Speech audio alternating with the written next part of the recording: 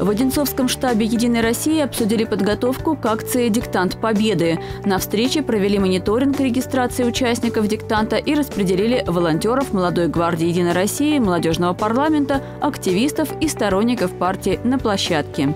В этом году в Одинцовском округе будут работать 32 площадки для написания диктанта Победы. Две из них являются уникальными. Это парк «Патриот» и главный храм Вооруженных сил России в Кубинке.